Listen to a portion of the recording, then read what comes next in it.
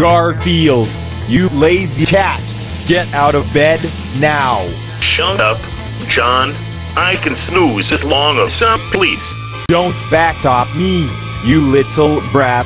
No lasagna for you, unless you go into space and bring back Odie. I can't do my kitty chores. My huge belly gets in the way of everything.